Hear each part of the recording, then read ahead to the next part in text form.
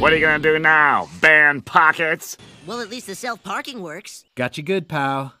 Too slow. Oh, get a new cookbook, lady.